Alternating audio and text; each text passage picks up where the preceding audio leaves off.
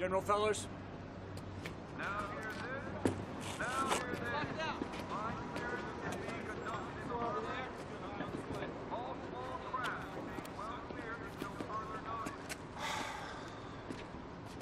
What the hell is this?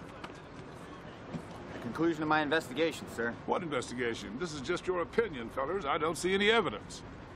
I have no concrete evidence, sir. But it is what we must do.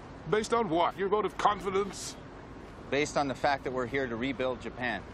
And we will never... I am about to make the biggest decision of the occupation, which will determine the future of Japan, and all I have is conjecture.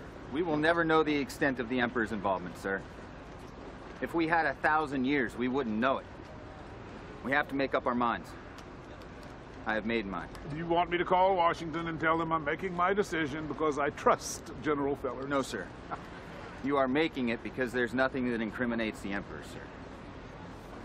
Sit down.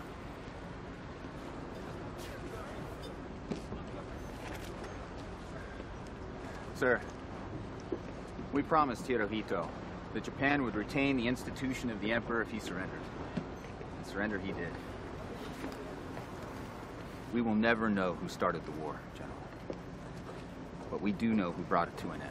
There is nothing, absolutely nothing, that could compromise my situation if I were to absolve the Emperor. There is no evidence for nor against him, sir.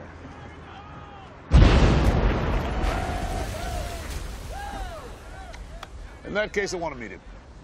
Meet who, sir? This monarch in who I am placing all of my faith. Face to face. That's right.